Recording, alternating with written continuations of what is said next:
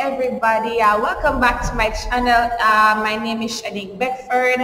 For those of you who are watching for the first time, I welcome you all to my channel. Uh, if you've been, if you're joining again from our previous videos, uh, if you're coming from Facebook, you're coming from Instagram, you're coming from wherever you're coming from, I welcome you to my channel. Uh, I want you to please uh, subscribe to the right side of your screen. You'll see the subscription button. I want you to subscribe. I want you to like and I want you to comment and do not forget to share this video with someone. So today I'm going to discuss with you one of the one of the most frequent questions I get and that question is how do I know I'm called to the prophetic office. And so I believe that a lot of persons, um, they've been told that they're called.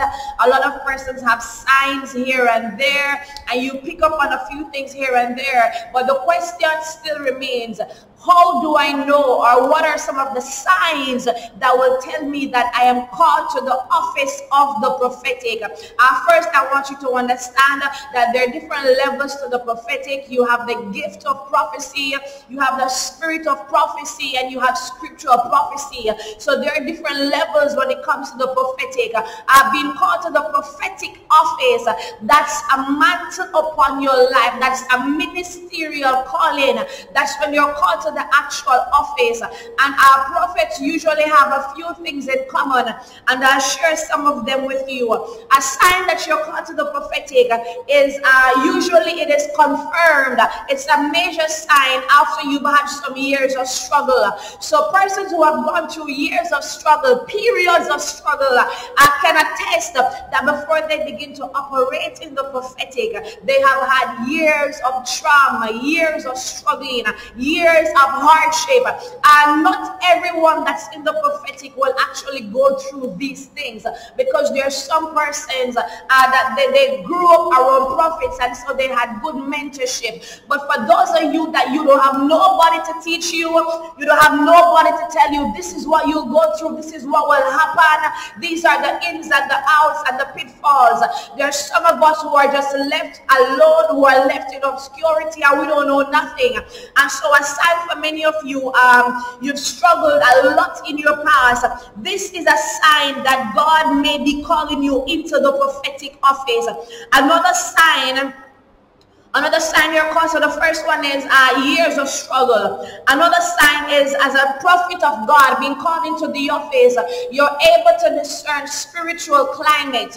And so you're able to go into a church, uh, into a home, into any atmosphere uh, generally. And once you step into that atmosphere, you can discern if the Spirit of God is here or you can discern what's happening in the climate. If it's cold or if it's hot, if it's lukewarm, you just go into a church and you just know that, nah, I can't worship in this church. This church, mm, there's something that's missing. There's something that is in lack. The Spirit of God is not in this place. And so you're easy to pick up on spiritual climate. Uh, many persons will say, uh, you fuss too much and uh, you always know this. Another sign is people will say that you are odd because you don't operate the way that everybody else operates. You don't see the way they see. While they will think outside outside of the box, you will think inside the box. While they will think inside the box, you are thinking outside the box. While everybody else is celebrating and laughing, you will see the need to be mourning in a season. And while you are laughing, everyone else is mourning because you see through the lens of God. You see through the eyes of the Spirit. And so you cannot see what the natural sees, but you see according to the divine will of God. And so people will say that you are odd. Why do you try to escape a social gathering because you want to go pray?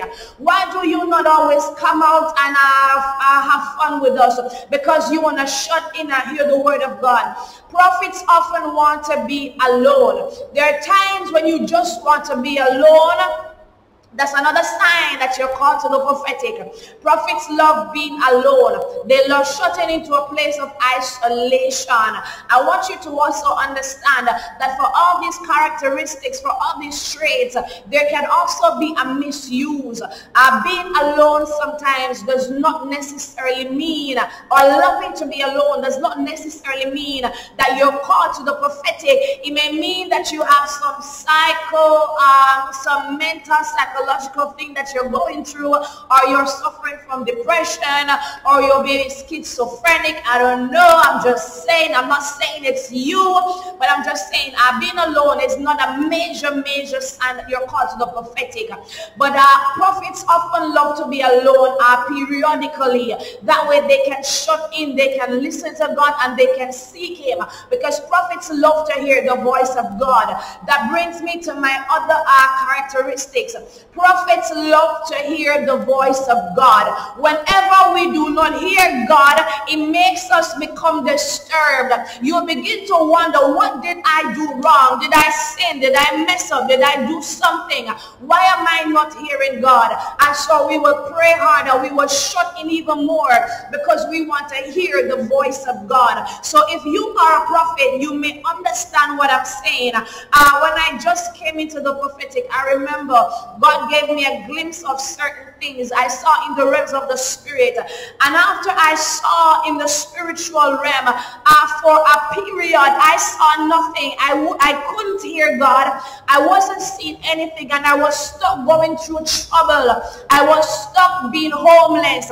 I was stuck feeling uh, very disturbed, troubled. I was struggling. I was going through a lot. And while that was happening, and I needed to hear the voice of God in that time, Yo, God was nowhere to be found. There's some of you that's watching this video and you're saying, I'm not hearing God. I'm going through a lot and I would love to hear God speak to me right now and right here. I want you to understand that God is with you. Even in the silence, you have to understand that God is always with you and he will never leave nor forsake you. So uh, being alone, uh, struggling to hear the voice of God uh, while you're going through your seasons of struggle is a sign that uh, you're called to the prophetic. Another sign that you're called to the prophetic is um, a true prophet of God. Uh, from childhood, they're, they're deemed as different even as a child, you will come across as being different. You never fit in. You're always the odd one. You never fit into certain circles because there was something that stood out about you. There was something that made you different from everybody else. Uh, to, the, to, the, to the natural and the naked eye, people may say that you're weird, you're unusual, something is wrong with you. But in the realms of the spirit, you are an anointed vessel. You're chosen. You're peculiar. You're different from everybody else because you carry something that is so powerful. You carry something that is so uncommon. There's nothing wrong with being uncommon. There's nothing wrong with being unusual because you carry an unusual anointing. And because you carry an unusual anointing, when people do not understand, it will offend them and they will attack it. Some persons say, why is it that prophets are attacked so much? why are prophets attacked uh, on, on such a high frequency? Because what you carry, people cannot understand it. There's some that will be confused. There's some that will be intimidated. There's some that will be jealous. There's some that will just not, not like you for no reason. And so you have to understand that the warfare to the prophetic, it is great. It's a great fight. Uh, it's a great fight. And people will fight against you for no just cause because you're carrying something that is unusual. You're carrying something that is different. So I, am not even counting. I'm not sure what number that is. But uh, another sign that you're called to the prophetic is you hate sin. Prophets, they, they, they despise sin. Wherever sin is, they will try to correct it. They will try to rebuke, rebuke and reprove. And so our prophets do not tolerate sin. They cannot sit amongst our sin. And so uh, they will always call the sinner. They will always say, repent, repent, repent. God is telling you to repent. At the same time, I said that there's certain, uh, you can misuse these characteristics. And we have to be very careful how we call out certain things. There's some things you have to know how you deal with it by using wisdom. Because the prophetic is not to bring shame. The prophetic is not to disgrace. And the prophetic is not to kill or destroy someone. It's actually to build them up. Uh, the, the, the Bible declares that the prophetic, the prophetic is to comfort, to edify, and to exhort. And so that's what the prophetic does. It comforts, it edifies, and it exhorts. If you're not doing that as a prophet, then something is definitely wrong. But that's a sign of the prophetic to comfort, to edify, and to um to exhort.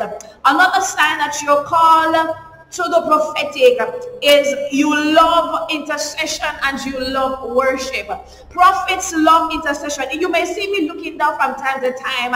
I just have a few things that I jotted down on my phone. Our prophets love intercession. They love music. Our prophets, they love worship. They love worship. And so they will, even if they can't sing like myself, I'll tell you, what I've, I've went to preach many places and I tried to sing. And the pastors who invited me, they said, prophetess, stick to your calling. Do not sing, prophesy. You're good at preaching. You're good at prophesying. Prophesy. Don't preach. I've never felt so humiliated in my life. But even though I cannot sing, there's something within there's something within me.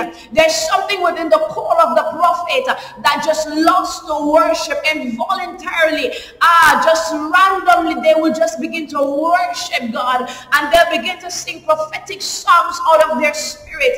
So if you are a natural worshiper, if you are a genuine worshiper, you desire worship and you desire to look into intercession, you're always praying about something. You always carry the burden for something that God places on your life. It is a sign that you're called to the prophetic. Another sign you're called to the prophetic is you have quick impressions of people. Y'all, when I tell you that I have a discernment clock inside of me, I'm not even joking. Prophets are quick to discern people. They are quick to have uh, impressions of people. What do I mean? You can see someone and as soon as you see them, you know, nah, that's not a child of God. The way I see it in the realms of the spirit, I see it like a phone. You know when you're charging your phone and you have the little bar thing at the side and you see the battery going up and going down because it's charging. In the realms of the spirit, that's how I see where people are spiritually. I don't know, it's just something God gave to me. But that's how I see it. So I can look at, when I see people, I see like a battery life, like a percentage. And I know if they're hot, if they're cold. I know if they're heavy. Or I just know where they are in the realms of the spirit. And so when I see someone, I can easily discern if they are a child of God or if they're not a child of God. If they are, uh, if they're growing and or mature in the realms of the spirit or if they're just called and they're still at that baby level because God gives you a sharp sense of discernment. And so you can't be tricked. You can't be fooled. While everybody else is hyping over, over Prophet A, you know that Prophet A is a con artist and he's a Jezebel. And while nobody is looking at Prophet B, you know that that this one is carrying the anointing and the glory of God because you're able to look beyond the natural. The misuse of quick impressions of people is you have to be careful that you're discerning through the lens and the spirit of God because now you don't want it to be being judgmental, criticism. Uh, you don't want it to be uh, you just crit- criticizing random persons for no reason or just casting wrong judgment on someone or be quick to cast judgments. So you have to ensure that when you discern, uh, discerning is through the spirit and the lens of God. Uh, you have an alertness to dishonesty. As prophets, you have an alertness to dishonesty. And so um, as a prophet, of God, when you're called to the prophetic, you are alert when people are lying. You're alert when there's no loyalty. If there's no loyalty, if there's no honesty, if there's no uh, authenticness, you are alert and you can pick up on it and you know that this person is not being honest. And so nobody can trick you. One of the greatest things as a prophet that I love is hearing and seeing in the realms of the spirit. Now here comes this person, right? Here comes this person coming up to my face and telling me, telling me something. And I know that the person is lying. And I'm just sitting and I'm just like, mm-hmm. Wow, okay, continue, go on. And the person is talking and I'm, wow, that is so good, impressive. Mm-hmm. My God. Mm, and you're looking at the person and you know that you know that you know without a shadow of a doubt that that person is lying. The person is lying and you're looking at the person telling the lie and you're allowing them to dig deeper into that, that, that hole that they're digging. And you're just looking and saying, mm-hmm. And you're wondering, how far are you going with this? How far? I want to see how far you will take the line. Let me just stand or let me just sit and look at this person lying to me. I know within that this person is dishonest. I know within that this person is disloyal. But let me just look at this hypocrite. Let me just look at this person that is lying in front of my eyes. And then when they're finished, there are times where God will allow you to say that you knew that they lied. And there are times, the real test of a true mature prophet is when you're able to see something when you hear something, but you simply do not say anything until God allows you to say. Sometimes God will show things to you that you're not entitled or privy to share with everyone. And so the true maturity is you know that this person is a liar, but you still have to work beside them. You still have to treat them humanly. You still have to treat them with respect and love because even though you know something, it does not change your relationship with the person. Yeah, being a prophet is hard. Being a prophet, it's easy, but it's hard. You have to, if you're not a mature prophet, I'm telling you, you will break. And so the reason why you will go through these things is so God will break your flesh. Is so God will break self. That way you can become mature and a developed prophet of God. Another sign of um, that you're called to the prophetic is you will endure seasons of rejection. People will reject you. The Bible declares that a prophet is not honored in his own country. It means that your family may not accept you as a prophet. Your own church that you grew up in, you got baptized and you were filled with the Holy Ghost, you sung on the choir. Everyone may not accept you as a prophet, especially in your own country.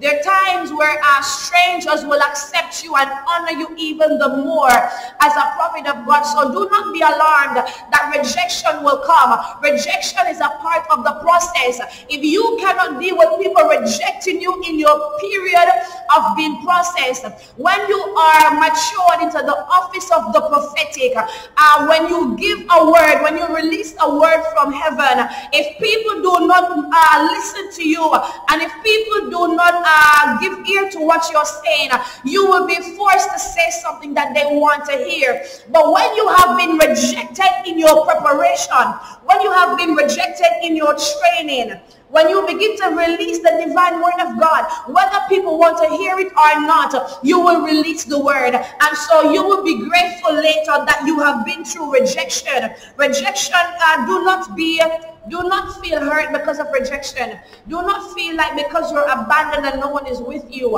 It's just a part of the process. It will not be forever. It's just a part of the training process. And so prophets, they are alert to dishonesty. They desire for justice. Prophets, they desire for justice. They tend to cut off those who sin so that justice will be done. Listen, prophets, it, it, it, they, they have, what do I, how do I put this? When you're a true prophet of God, your tolerance level for sin and injustice is like this small. Is like this, this small. There's no space there. Um, it's either, it's either or either. As a prophet of God, you will understand it's either you're saved or you're not. It's either you're living for God or you're not. It's either heaven or hell. It's either black or white, but there's no silver, there's no gray in between. You can't say that you're saved, but nah, that doesn't work. When you're in the prophetic, that simply does, just does not work. You're either living for God or you're not living for God. You're either fulfilling his will wholeheartedly or you're not doing it any at all. And so that's that's where prophets stand. They, if you're serving God, they want you to serve God wholeheartedly, completely surrender to God. And we have a no-no tolerance for sin and for dishonesty, for injustice. So that's another sign that you're actually called uh, to the prophetic of God. Our prophets, they're, they're wholehearted. They're involved wholeheartedly. Anything that prophets do, they will go in it all out. If they're called to preach a word, if they're called to be an advocate, whatever they're called to do, they will go all out for the will of God. If you're dedicated to the cause, then you know that you're called as a prophet of God. Another sign you're called to the prophetic is you carry a burden. Every prophet carries a burden. If you're a prophet of God and you do not carry a burden for something, then something is wrong somewhere along the line. Whether you're carrying a burden for the church, a burden for families, a burden for women, a burden for prostitutes, a, a burden for the prophetic, um, the prophetic um, niche, whatever the burden is that you're carrying, every prophet carries a burden. What do I mean? There's something that sits on your spirit it sits on you and it's a heavy thing that it doesn't get up off of you. You're disturbed by it. Every time you see an injustice or something happening, it upsets your spirit because it is a burden inside of you. And the only time that you get a release is when you go to the altars, when you go into your altar, your prayer closet, and you pray about it. The more you pray about it, the divine will of God, and then God will give you an ease from this thing. There are people that carry burdens. There are people that carry burdens for churches for years. There's some that carry burden for um for for for for, for for many different things. And they carry this burden for years. Let's look at ezekiel. God told this man uh, to walk naked to get naked and walk naked to prove a sign. How far how involved are you? What are you willing to do for god? There's some of us we're not afraid to be ashamed. We're not afraid to be persecuted. This is a sign that you're called to the prophetic. You're not afraid to be persecuted. You're not afraid to be laughed at. You know that you're doing the will of god and you do not care what nobody else thinks. Another sign that you are called to the prophetic, I just said that uh, you're willing to suffer for right. You're willing to suffer for right.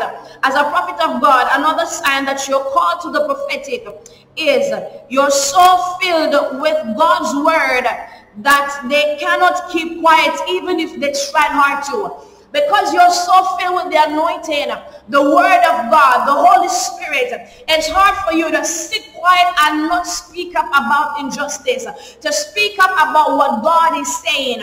Another sign you're called to the prophetic is you understand the seasons and the because you understand the seasons, there's some people that will call you uh, over holy. They will say that you're too holy, you're too anointed. Why do you always speak in tongues? Why do you always have a word? How is it that you're always hearing from God? Bruh, because I'm spending time in prayer. And so people will say that you, you think that you're God's secretary. If anyone is watching and you, someone has said to you that um, you you you're probably your God secretary. They say that you're too holy, or they say that you're you're too um you're too charismatic, or you act too much, you pretend too much, and why do you have to always be shouting and doing so much? It's a sign that you're called to the prophetic. You can't help but worship God. You can't help but love God. You can't help but speak about his goodness, his mercy, his grace. It's embedded in your spirit. It's embedded in your DNA. You can't help it. And so because of this, people will say that you're too much. People will call you over spiritual. If you've ever been called over spiritual, I want you to comment down below. The amount of times people have called me over spiritual, it's not even funny. And so uh, do not be disturbed. Do not feel discouraged because people say these things to you. Truth be told, Some of the same people that reject you in the past, these are the same people that will need you in the future. Uh, there are plenty more signs uh, that you're called to the prophetic. I will do another video on it, but this is part one. If you were blessed or if you can relate to some of the things that I've said in this video, I want you to go below and I want you to comment. What is it that you're experiencing as a prophet? What are some of the signs that allowed you to know that you're called to the prophetic? Was it the struggling? Was it the humiliation? Was it the rejection? Was it the, the was it the years of being isolated? Was it feeling was it feeling odd around people when you know that you need to pray? I don't know what your sign was. Uh, maybe someone confirmed it to you. Maybe you got a dream. Uh, I don't know what your sign is that you're called to the prophetic. I want you to comment down below. Share your story with me. Tell me how do you know? How did you find out? How did you recognize that you were called to the prophetic? Uh, God bless you guys and have a wonderful rest of Do not forget to share this video to someone, subscribe and like.